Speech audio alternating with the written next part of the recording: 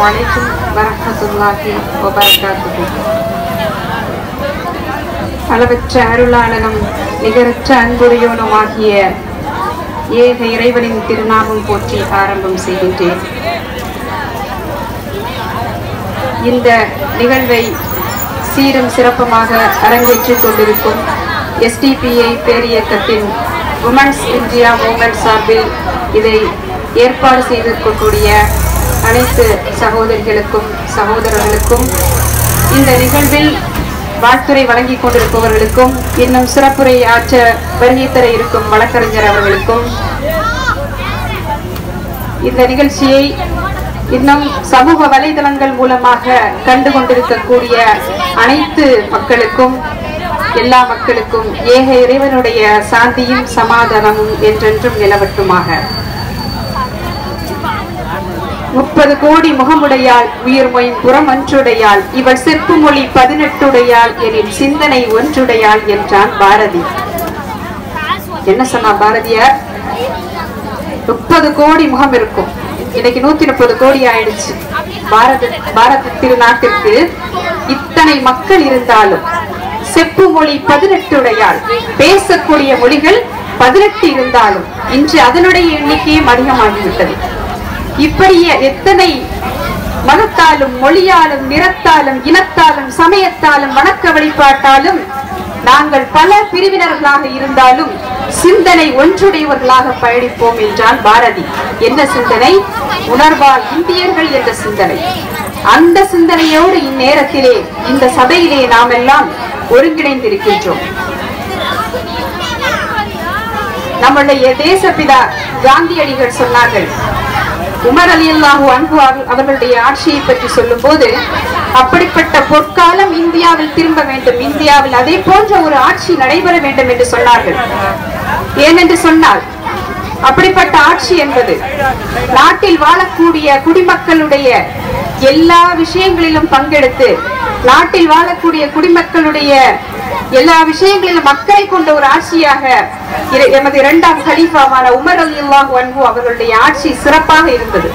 அப்படிப்பட்ட பொற்கால ஆட்சி உமர் அலி அல்லாஹு அன்பு அவர்களுடைய ஆட்சி காலத்தில் நகர்வலம் வருவார்கள். எதற்கு என்று சொன்னால் மக்கள் எப்படி இருக்கிறார்கள் எந்த மாதிரியான கண்டிஷன்ல இருக்கிறாங்க குறிப்பாக மதீனா மாநகர் பஞ்சத்தில் இருக்கக்கூடிய காலகட்ட காலகட்டத்திலே உமர் அலி அல்லாஹு அன்பு அவர்கள் மாறு வேஷத்தில் நகர்வலம் வந்து கொண்டிருக்கின்றார்கள். அந்நேரத்திலே ஒரு வீட்டில் இரவு நேரத்தில் ஒரு குழந்தையின் அழுகுரல் சத்தம் கேட்கிறது. என்ன இப்படிப்பட்ட சத்தமாக இருக்கிறது? என்று அந்த வீட்டுக்கு சென்று பார்க்கிறார்கள் உமர் அலி அல்லாஹு அன்பு அந்த வீட்டில் இருக்கக்கூடிய அந்த தாய்க்கு இது உமர் அலி அல்லாஹு அன்பு நாட்டினுடைய ஜனாதிபதி என்பது தெரியாது. இன்னைக்கு வரக்கு வர்றதுக்கு முன்னாடி கருப்பு படை எல்லா படையும் வர்றதுனால நம்மளால ஐடென்டிஃபை பண்ண முடியும். அவர்களுக்கு அது யார் என்றே தெரியாது மாறு வேடத்தில் வந்து மக்களுடைய மனசை மக்களுடைய உள்ளங்களை மக்களுடைய செயல்பாடுகளை அவர்கள் என்ன என்று கவனித்து பார்க்க வருகிறார்கள் ஏன் குழந்தை அழுகிறது என்று கேட்கும் போது குழந்தை பசியால் அழுகிறது என்று சொல்கிறார் அந்த பெண்மணி. குழந்தை பசியால் அழுகிறது உங்க வீட்டு அடுப்புல ஏதோ ஒண்ணு கொதித்துக் கொண்டிருக்கிறது என்று உமர் அலி அல்லாஹு அவரிடம் கேட்க அவர் அவர்கள் அஹ், கேட்கிறார்கள் அந்த பெண்ணிடம். அப்போது அந்த பெண்மணி பதில் சொல்கிறார் குழந்தைக்கு பசியால் அழக்கூடிய குழந்தைக்கு சும்மா அது ஒரு பாசாங்கு செய்வதற்காக நான் வெறும் தண்ணீரை கொதிக்க வைத்துக் கொண்டிருக்கின்றேன். அந்த தண்ணீர் கொதிக்கக்கூடிய விஷயத்தை பார்த்து அது என்ன நினைச்சுக்கும் அம்மா நமக்காக சமைக்கிறார்கள் என்று அந்த ஒரு எண்ணத்தோடையே தூங்கிவிடும். அப்படின்னு சொல்லிட்டு சொல்றாங்க இந்த நாட்டுடைய ஹலீஃபாவாக. இந்த நாட்டுடைய ஜனாதிபதியாக உமர் இருக்கிறாரே அவர் இதுக்காக மறுமையில பதில் சொல்லணும்னு சொல்றாங்க. சொன்ன உடனே உமர் அலி அல்லாஹ் அவர்களுக்கு அப்படியே கொதிக்குது. கோவப்படல. நாட்டினுடைய அவலநிலையை சொன்னா மக்கள் மீது வன்முட வன்முறையை வன்புணர்வை காட்டுகிறார்களே அதே போன்று எந்த ஒரு செயலையும் செய்யவில்லை.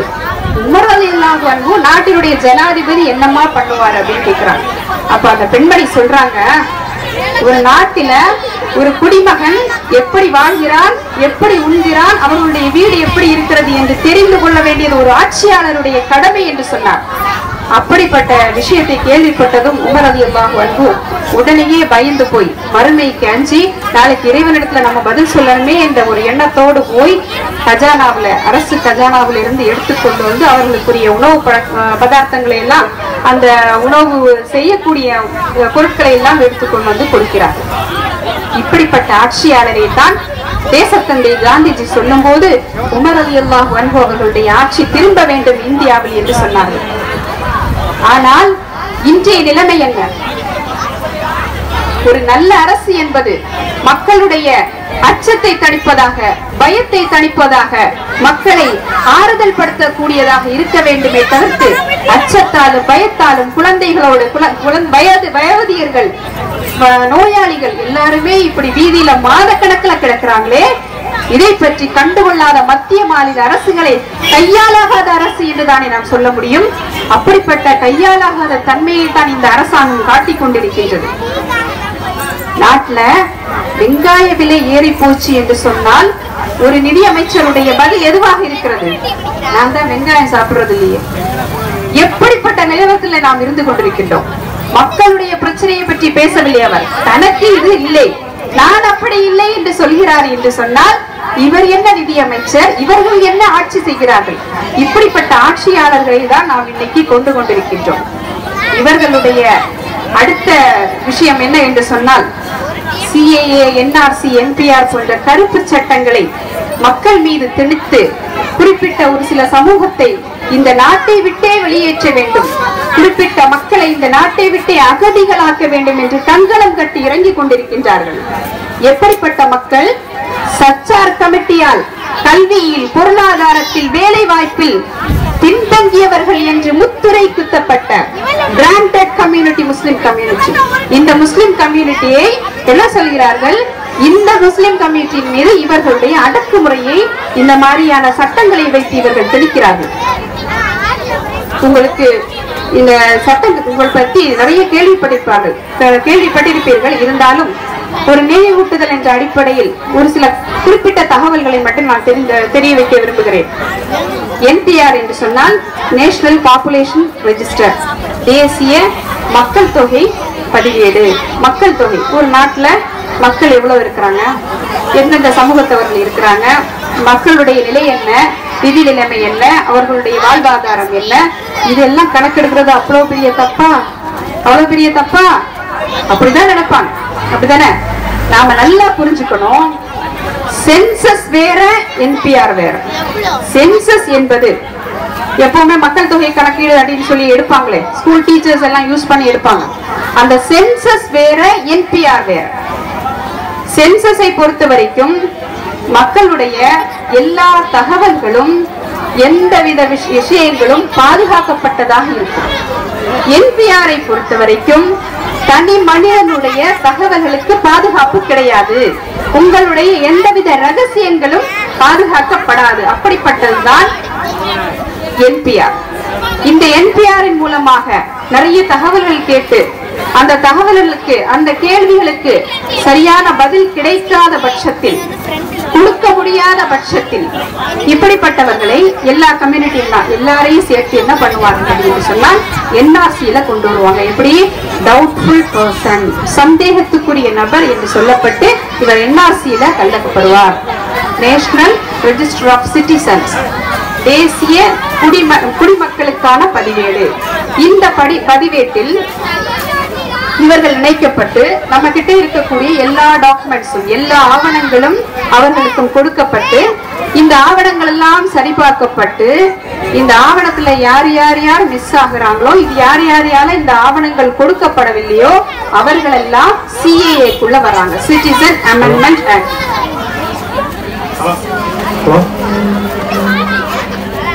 சிறப்பு பேச்சாளர் வந்து பேச வந்திருக்கிறாங்க. அதனால வந்து கொஞ்சம் சலசலப்பு வந்து அதிகமா இருக்கிறதுனால நிறைய மெசேஜ் வந்து கொடுக்குறாங்க. நீங்க அமைதி காத்து கேட்டாதான் வந்து அவங்க சொல்லக்கூடிய மெசேஜ் வந்து நமக்கு பிரயோஜனமா இருக்கும். நிறைய மெசேஜ் வந்து நம்ம எங்கேயும் கேட்காத மெசேஜ் எல்லாம் வந்து கொடுக்குறாங்க. கொஞ்சம் அமைதி காத்து கொடுங்க. டீ கொடுக்குறவங்க எந்த சலசலப்பும் இல்லாம அமைதியா வந்து கொடுங்க. சின்ன பிள்ளைகளும் அங்கிட்ட இங்கிட்டு ஓடுறத கொஞ்சம் கண்ட்ரோல் பண்ணி வச்சுக்கோங்க. ரோடு மெயின் ரோடு இருக்கிறதுனால மெயின் ரோட்ல பிள்ளைங்களை வந்து நடமாடுறத தடுத்துக்குங்க. கொஞ்சம் ஒத்துழைப்பு கொடுங்க. இது பெண்களுடைய நிகழ்ச்சினால பெண்களை முழுமையான முறை முறையில முன்னிலைப்படுத்தி அவங்கள வர வச்சிருக்கிறோம். அதனால வந்து அமைதி காத்து தருங்க. சிட்டிசன் அமெண்ட்மெண்ட் ஆக்டின் கீழே குடியுரிமை திருத்த சட்டத்தின் கீழே கொண்டு வரப்படக்கூடிய நபர்கள் அவர்களுக்குரிய ஆவணங்களை தாக்கல் செய்ய வேண்டும் என்ற கண்டிஷனை தாண்டி இப்ப வந்து சிஏக்குள்ள வந்துட்டாங்க. இப்ப யார் யாருக்கு ஆவணம் இல்லையோ அவர்களுக்கெல்லாம் இது வினாவாரியா பேசப்பட வேண்டிய தொகுப்பு நேரத்தின் ஆரம்பிக்கிறது சிறுதா சுருக்கமா புரியுற மாதிரி சொல்றேன். அப்ப இந்த சிஏக்குள்ள ஆவணங்கள் இல்லாதவர்களுக்கு நாங்கள் ஆவணங்கள் கொடுக்கிறோம். அவர்களை இந்திய குடிமக்களாக அங்கீகரிக்கிறோம் என்று அரசு சொல்கிறது. யாரை தவிர என்று சொன்னால் முஸ்லிம்களை தவிர. முஸ்லிம்களை தவிர்த்து மற்ற எல்லாருக்கும் கொடுக்கிறேன்னு சொல்றாங்க. இதுல பாதிக்கப்படுவது என்னவோ இலங்கை தமிழர்கள் உட்பட. இது எப்படிப்பட்ட சட்டம் என்று சொன்னால் இந்திய அரசியலமைப்பின் பதினாலாவது பிரிவு என்ன சொல்கிறது என்று சொன்னால் மதத்தின் பெயரால் அடையாளம் காணப்பட்டு ஒருவரை குடிமகனாக நாட்டினுடைய சிட்டிசனாக அங்கீகரிப்பதும் ஒரு குறிப்பிட்டவர்களை வெளியேற்றுவதும் தவறானதாகும் என்று இந்திய கான்ஸ்டிடியூஷன் லா இந்திய அரசியலமைப்பு சட்டம் சொல்கிறது. இந்த அரசியலமைப்புக்கு சட்டத்துக்கு எதிராகவே இவர்கள் பயணித்துக் கொண்டிருக்கின்றார்கள். அடுத்ததாக நமது முதல்வர் எடப்பாடி பழனிசாமி ஆகட்டும் உள்துறை அமைச்சர் அமித்ஷாவாக ஆகட்டும் என்ன சொல்றாங்க என்று சொன்னா குடியுரிமை திருத்த சட்டத்தால நாட்டு மக்களுக்கு எந்த விதமான பாதிப்பும் இல்லை என்று சொல்கிறார்கள். நாட்டு மக்களுக்கு மட்டும் மட்டுமா பாதிப்புன்னு சொல்றோம்? ஒட்டுமொத்த இந்தியாவின் இறையாண்மைக்கே பாதிப்பு என்று சொல்கிறோம். India is a secular nation India ஒரு மதச்சார்பற்ற நாடு என்று அந்த சித்தாந்தத்துக்கே பாதிப்பு என்று சொல்கிறோம். ஒரு சில நாடுகளை நீங்க பார்த்திருப்பீங்க. கிறிஸ்தவ நாடுகள் இஸ்லாமிய நாடுகள் சவுதி போன்ற நாடுகள் என்ன சொல்லுவோம்? இஸ்லாமிய நாடுகள் என்று சொல்லுவோம். அது எல்லாத்தையும் தாண்டி எந்த வட்ட வரைக்கும் உள்ள- உள்ளாகாமல் தேசிய அளவில் யூனிட்டி இன் டைவர்சிட்டி வேற்றுமையில் ஒற்றுமை காணும் பாரதம்னு ஸ்கூல்ல எல்லாம் குழந்தைங்களுக்கு பாடம் சொல்லி தந்திருப்பாங்க படிச்சிருப்பாங்க. அது எல்லாம் படிச்சு வந்தவங்க தான் நாங்க எல்லாருமே. அப்படி வேற்றுமையில்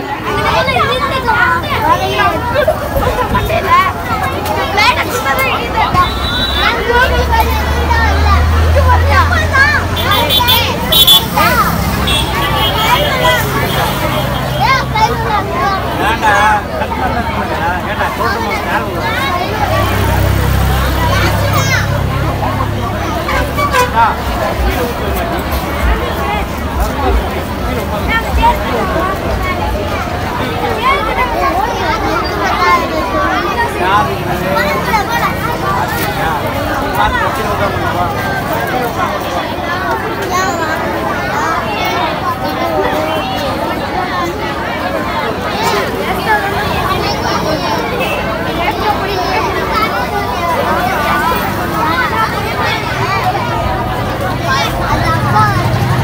đi.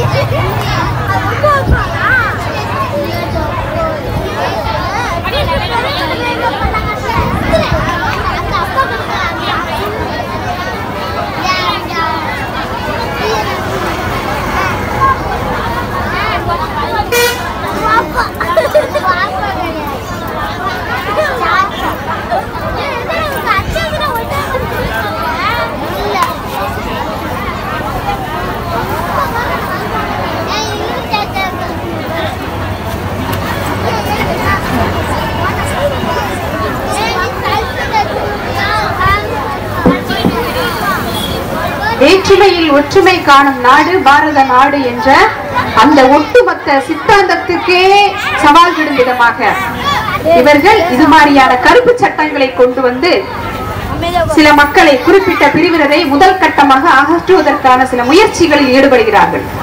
இது ஒண்ணும் புது விஷயம் இல்ல. இவர்கள் நூறு ஆண்டு திட்டத்தில ஆர்எஸ்எஸ் முக்கியமான அஜெண்டாவில் இது எல்லாத்தையும் சேர்த்து வச்சு களமிறங்கினதனுடைய ஒரு பகுதி தான் இப்ப வெளிப்பட ஆரம்பிச்சிருக்கிறது இந்த குடியுரிமை திருத்த சட்டம். டெல்லியில கலவரத்தை ஏற்படுத்தி முஸ்லிம் சமூகம் பின்வாங்கி சென்றுவிடும் என்ற ஒரு பயத்தை ஏற்படுத்தினார்கள். அலமதுல்லா அல்லாஹ்வுடைய மாபெரும் வரலாறு நம்ம என்ன செய்யல? ஒரு இன்ச்சு கூட பின்வாங்கல. வண்ணாரப்பேட்டையில் அப்படியே பூச்சாண்டி காட்டி பார்த்தாங்க. அதுலயும் நம்ம வந்துட்டு கொஞ்சமும் பின்வாங்காமலேயே இந்த மக்கள் செயல்பட்டார்கள்.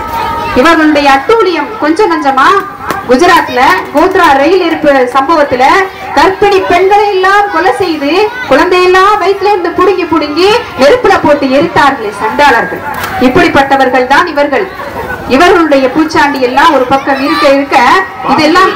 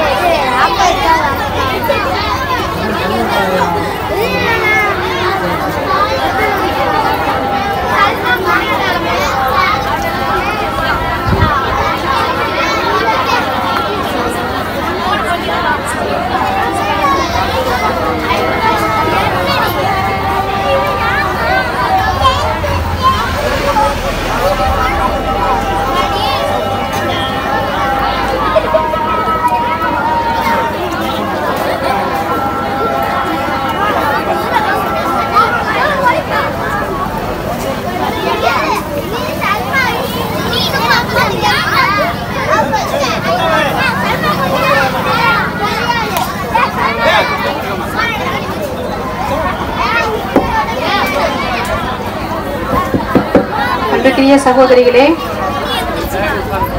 தொடர்ச்சியா நம்ம வந்து தொடர் போராட்டத்துல ஈடுபட்டு கொண்டிருக்கின்றோம். என்ன விஷயத்துக்காக நம்ம போராடி கொண்டிருக்கிறோம் அப்படிங்கிறதுல இன்னும் நம்ம கிட்ட ஒரு தெளிவு ஏற்படல. எவ்வளவோ பணிச்சுமைகளுக்கு மத்தியில எவ்வளவோ சூழல்களுக்கு மத்தியில இதை எல்லாத்தையும் நம்ம வந்து ஏற்பாடு பண்ணி நடத்தி கொண்டிருக்கிறது அப்படிங்கிறது மிகப்பெரிய ஒரு விஷயமாக இருக்கிறது. சாதாரண விஷயம் கிடையாது. அப்போ இந்த செய்திகளை சரியான முறையில நீங்க உள்வாங்கணும் என்ற அடிப்படையில தான் நாங்க உங்களுக்கு தகவல்கள் கொடுத்துட்டு இருக்கோம் அதனால தா- தாய்மார்கள் தயவு செய்து நீங்க கவனிக்கணும். அதே மாதிரி குழந்தைங்க. Okay keep quiet all of okay சரியா? எல்லாரும் அமைதியா இருக்கணும். Listen boys tie your hands நான் ஸ்கூல் டீச்சராக இருந்தேன். எனக்கு தெரியும் எப்படி ஸ்டூடெண்ட்ஸை வச்சுக்கணும். Tie your hands all of you listen here. Okay.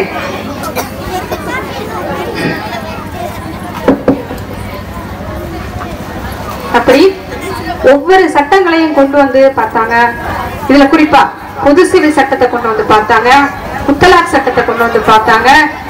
முத்தலாக் சட்டத்தை கொண்டு வந்ததுக்கு காரணம் என்ன சொன்னாங்க அப்படின்னா இஸ்லாமிய பெண்களின் மீது நாங்க எடுத்த அக்கறை இஸ்லாமிய பெண்களுக்காக நாங்க எடுத்த அக்கறை அப்படின்னு சொல்லி சொன்னீங்களே.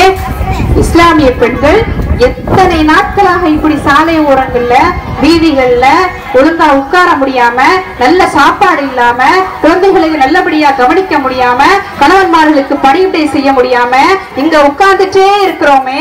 எத்தனை இடங்கள்ல வந்து தொடர் ஷாஹின்பாக்காக தொடர் இருப்பு போராட்டமாக நடத்தி கொண்டிருக்கோமே. முத்தலாக்குக்காக எங்கள் மீது கரிசனம் காட்டின மத்திய மாநில அரசுகள் மத்திய அரசு எங்கே போயது இப்போ? எதுவுமே இல்லையே. இத்தனை நாளா கிடக்குறோமே. அப்போ எல்லாத்தையும் காமிச்சு எங்களை ஒரு கூச்சாண்டி காட்டி பின்வாங்கிடுவோம் நினைச்சீங்களா?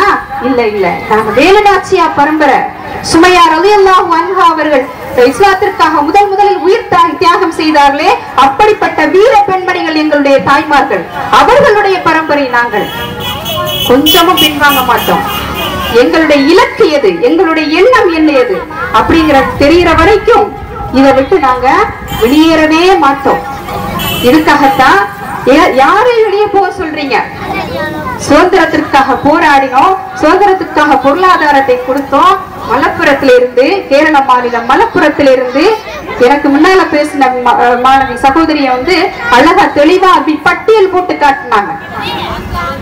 கேரள மாநிலம் மலப்புரத்திலிருந்து சுதந்திரத்திற்காக போராடினோம் என்ற ஒற்றை காரணத்திற்காக மாப்பிள்ளை முஸ்லிம்களை கூட்ஸ் ரயில் சென்னை எக்மோர் ஸ்டேஷனுக்கு வரும்போது பிணம் பிணமாக சரிந்து விழுந்தோமே அப்படிப்பட்ட சமூகம் நாங்கள். எங்களுக்குரிய இரண்டாம் விடுதலை போராட்டம் இது. இதுல எந்த வகையிலும் எந்த இடத்திலும் எந்த மோடிக்கும் எந்த அமித்ஷாவுக்கும் எந்த யாருக்கும் நாங்கள் பின்வாங்க மாட்டோம் என்பதையும் உங்களுக்கு இந்நேரத்திலே நாங்கள் தெரிவித்துக் கொள்கிறோம். இன்னும் சொல்ல போனால் முஸ்லிம் சமூகங்களின் சமூகத்தின் பிரதிநிதிகளாக சிலர் வேஷம் போட்டுக்கொண்டு அவர்கள் கொடுக்கக்கூடிய சில விஷயங்களுக்காக ஜால்ரா தட்டி கொண்டு தொப்பு பி- தொப்பி போட்டுக்கொண்டு சில வேலூர் ஆண்கள் அவர்கள் பின்னால் போய்க் கொண்டிருக்கின்றார்கள் அவர்களுக்கும் சேர்த்தே நாங்கள் சொல்கிறோம் உங்களுடைய வரலாறு என்னன்னு தெரியாதா? நீங்க யாருன்னு தெரியாதா? இதுக்கு மேல என்னன்னா சில குறிப்பிட்ட அமைப்புகளை தடை செய்ய வேண்டும் என்றும் நீங்கள் என்ன பண்றீங்க? கேஸ் போடுறீங்க. எதுக்காக தடை செய்யணும்? கஜா புயல்ல இறங்கி களம் கொண்டோமே அதுக்காக தடை செய்யணுமா? ஓகி புயல்ல இறங்கினோமே அதுக்காக தடை செய்யணுமா? சென்னை பெருவெள்ளத்துல இறங்கினோமே அதுக்காக தடை செய்யணுமா? எங்க கிட்ட என்ன இருக்கு தடை செய்யணும். நாங்கள் எல்லாம் ஏகே ஃபார்ட்டி செவன் வைத்திருக்கிறோமா? நாங்கள் இந்த முக்கா டவுசர் போட்டு தீவிரவாத பிராக்டிஸ் கொடுத்துட்டு இருக்கிறோமா? இல்ல கல்லு கொண்டு வந்து இறக்கி எப்படி லாரி லாரியா கல்லு கொண்டு வந்து இறக்கி அவர்களை எல்லாம் மற்ற எதிராளிகளை எல்லாம் எப்படி எல்லாம் துரத்தணும் என்ற பயிற்சி கொடுத்து கொண்டிருக்கக்கூடியவர்களா? இப்படி எதுவுமே இல்லாத மக்களை பார்த்து நீங்க வந்து தடை செய்ய சொல்கிறார்கள் சொல்கிறீர்கள். உங்களை மாதிரி பிரியாணிக்கு கூட்டின கூட்டம் அல்ல நாங்கள் கூட்டிக் கொண்டிருப்பது. உங்களை மாதிரி குவார்டருக்கு கூட்டின கூட்டி கூட்டம் அல்ல நாங்கள் கூட்டிக் கொண்டிருப்பது. உண்மைக்காக உரிமைக்காக கூடின கூட்டம். அப்படித்தானே? எங்கள்கிட்ட இருக்கிறதெல்லாம் ஒன்னே ஒண்ணுதான். மன தைரியம் இருக்கிறது உண்மை இருக்கிறது எங்கள உரிமை இருக்கிற இந்த உரிமையை எந்த சூழலிலும் எப்படியும் நாங்கள் போராடி பெற்றுக்கொள்வோம் என்றதுல நாங்க சமரசமே ஆக மாட்டோம். எங்களுடைய முப்பாட்டனார்கள் எண்ணூறு வருடம் ஆண்டார்கள். என்னென்ன விஷயங்கள் செய்தார்கள் தெரியுமா? கஜாராக்கள் எல்லாம் அப்படி செழித்தோங்கியது எங்களுடைய கல்வி ஸ்தாபனங்கள் எல்லாம் அப்படியே உருவாச்சுது. பல்கலைக்கழகங்களை உருவாக்கணும். நீங்க ஆறு ஏழு வருஷத்துல என்னென்ன செஞ்சீங்க? இந்திய அரசாங்கத்தை பொருளாதார ரீதியாக நிலைகுலையாத அளவுக்கு அவர்களை கொண்டு சென்றதும் நிறைய கற்பழிப்புகள் நடத்தியதும் என்னுடைய சகோதரி நிர்பயாவை கொலை செய்ததும் என் மகள் ஆசிஃபாவை கொலை செய்ததும் தான் நீங்கள் செய்த சாதனை பட்டியல்கள் என்று சொல்லலாம். இப்படிப்பட்டவர்கள் இன்னைக்கு புதுசு புதுசா சில சட்ட திட்டங்களை கொண்டு காவி திட்டங்களை கொண்டு வந்து எங்களை அடக்க நினைக்கிறார்கள் ஒடுக்க நினைக்கிறார்கள். மத்திய மாநில அரசுகளை கேட்டுக்கொள்ளுங்கள். எந்த சூழலிலும் நாங்கள் பின்வாங்க மாட்டோம். எந்த சூழலிலும் எங்களுடைய இலக்கை நாங்கள் அடையும் வரை நாங்கள் பின்வாங்க மாட்டோம். இவர்கள் இவர்களுக்கு ரோல் மாடலாக எடுத்துக்கொள்வது முசோலினி ஹிட்லரையா? முசோலினி ஹிட்லர் வந்து யாரை அழித்தார் என்று சொன்னால் பாசிச சிந்தனை உள்ள ஹிட்லர் யாரை அழித்தார் என்று சொன்னால் யூதர்களை அழைத்தார். யூதர்களை பொறுத்த வரைக்கும் இன்னைக்கு நம்ம யூஸ் பண்ணக்கூடிய நிறைய டெக்னாலஜியை கண்டுபிடிச்சது யாரு அப்படின்னா அறிவால் வல்லவர்கள் யூதர்கள். அப்படிப்பட்ட யூத இனத்தையே பிளான் பண்ணி ஒருத்த அழிச்சான்னா அவன் அதுக்கு மேல யாரா இருப்பான்? மிகப்பெரிய அறிவாளியாக இருக்கணும்.